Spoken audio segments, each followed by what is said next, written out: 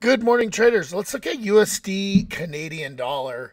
Uh, we've been watching this pair and targeting the 618 on this swing low to swing high uh, during March madness of Corona 19. So uh, we're really close to touching the S2 here on the four hour chart. And we have the missed pivot. So, um, and that pivot is pretty much pretty close to where this downward trend. So I, am starting to see, I, I love this support and I love this downward descending triangle, uh, but we, we might just get this pop off of this uh, S2 level before the 618. But so I'm going to be watching really close, uh, smaller time frame.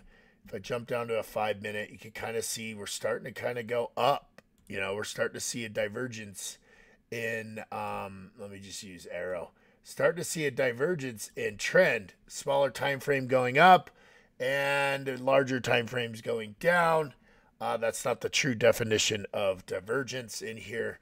Uh, it'd be momentum and uh, price, but Clayton's divergence. So you can kind of see uh, you know, I'm I'm going to wait. I'm going to wait for a, a push back down to S2. We we haven't triggered the S2 yet. I think we're going to get another bearish push down, uh, and then we'll, we'll enter either on a, a spike, uh, a wick past that the best we can, or even a push all the way down to the 618. Uh, but I like this S2 for this weekly trade.